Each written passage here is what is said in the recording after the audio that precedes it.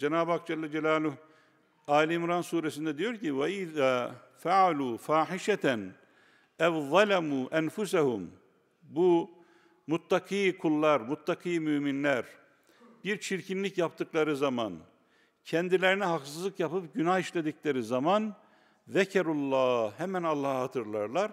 Festağferû li günahlarından bağışlanma dilerler.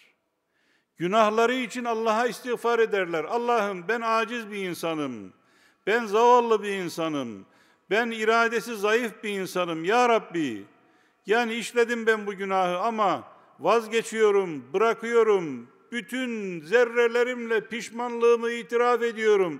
Ya Rabbi böyle bir günah bir daha işlememe azmindeyim, kararlılığındayım. Ne olursun beni affeyle ya Rabbi. Duasını ediyor. Kim böyle yaparsa Allah onu affeder diyor. Kul hakkı ile ilgili bir şeyse, kamu hakkı ile ilgili, devlet hakkı ile ilgili bir şeyse onu ödemesi gerekir ama. Kulun hakkını yedi, Allah'ım affet. Allah Allah'ın affı kulun affetmesine bağlı. Kamu hakkını yedi, devletin malını çaldı, Allah'ım affet. Ama o malda 84 milyon insanın hakkı vardı. 84 milyon hak affedecek ki Allah da seni affetsin. Onun için hak yemek çok tehlikelidir Allah korusun.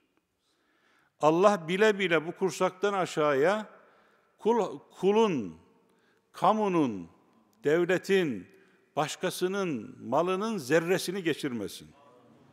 Yutma kabiliyetimizi kaybettirsin, haram lokma geçirmesin. Ateşi geçirsin, haram lokma nasip etmesin.